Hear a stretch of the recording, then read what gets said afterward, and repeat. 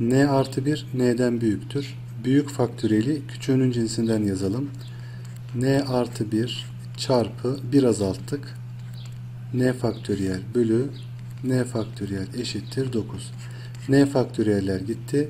Artı 1 diğer tarafa geçerse çıkartırız. n eşittir 9 olarak bulunur A şıkkında. B'ye geldiğimizde 2n'de 2n eksi 1'den büyüktür. Büyüğünü küçüğünün cinsinden yazarsak 2n çarpı 1 çıkartalım. 2n eksi 1 faktöriyel bölü 2n eksi 1 faktöriyel eşittir 16. Buradan da faktöriyeller gider.